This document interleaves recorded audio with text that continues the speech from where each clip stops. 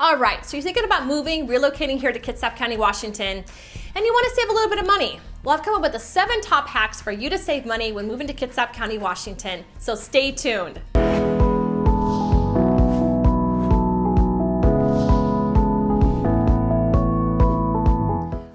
Everybody. I'm Ledeana Strand. I'm a local real estate agent here in Port Orchard, Washington. If this is your first time to my channel and you want to know everything about Kitsap County, well, I do tons and tons of videos, everything you need to know. So make sure you tap that subscribe button and click the little bell so you're notified every time I do a new video.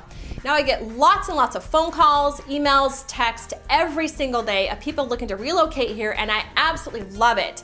If you're thinking about moving, relocating, make sure you reach out to me, give me a call, shoot me a text, send me an email, or you can even send a Seahawk. However you want to get a hold of me, I've got your back in moving to Kitsap County, Washington.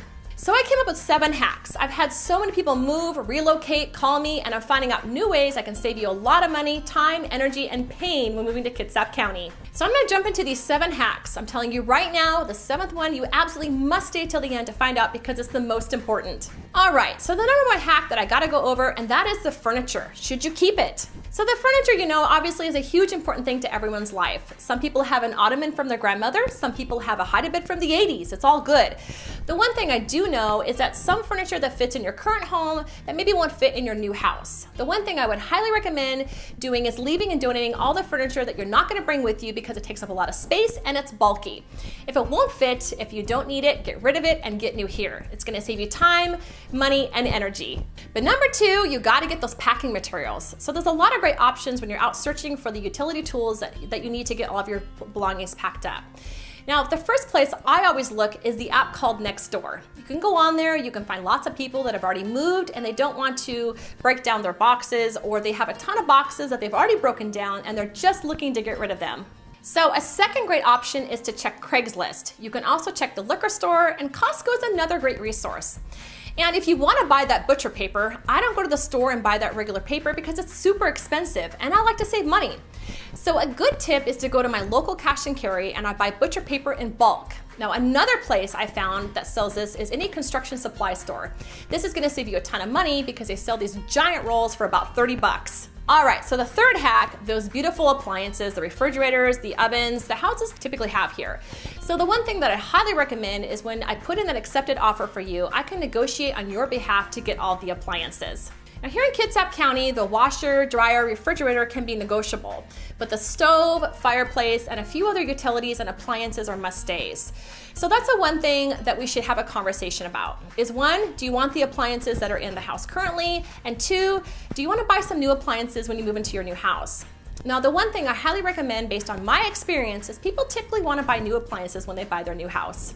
And we also have an, have an additional home warranty that can cover all the appliances that are pre-existing and appliances that you're buying. But washers, dryers, and refrigerators, they always come with a manufacturer warranty. So I would just use the standard manufacturer warranty for those things that you buy. And then we can also talk about, um, and you can ask me about the warranties we have here to purchase, and we can see what is the best option for you moving forward. All right, so the number four hack, and this is actually about spending a little bit of money, but it's all about those movers. And again, I can relate. When we have moved throughout the years, we did all the moving ourselves, it was a pain in the butt, you get in a fight with your spouse, it's not worth it. But the last time we moved, we did hire a moving company to move the big stuff for us. And I was actually shocked that it doesn't cost that much to get those movers. You know, we can find some really good movers, we do have a lot of moving companies here. There's companies that can move you from the state you're moving to Kitsap County, or even just local. But the one thing I would recommend, it really depends on whether or not you're comfortable with driving a moving truck, because the most equitable thing is having a company that can come in and pack up all your belongings that you currently own and put it in the truck for you. You know, it costs a couple hundred bucks and it gets done in a very efficient manner and they can get more stuff in the truck because they're professionals. They know how to put the pieces to the puzzle together. And another great option would be getting a pod. You know, you can put all your stuff in your pod, you can head out here and then your stuff's delivered for you once you arrive. Those can actually get stored for a little bit, so they'll show up when you're ready. All right, so we're working our way down this list. These are the things that are really going to help you save you know, time and money. But if you're still wanting to know everything about Kitsap County, again, this channel is all about it. So make sure you tap that subscribe button, click the little bell so you're notified every time I do a new video. So the fifth thing I want to talk about is okay, okay, you got all your stuff packed up, you got your stuff here, and maybe your house isn't ready or you want to take a little bit of time to figure the area out. How about short-term rentals versus long-term rent? Now, there are definitely short term rentals. The great thing that I love and recommend is going to Airbnb. They always have a monthly rental rate. You can find a great rental in a place that you're actually maybe purchasing your house or wanting to live.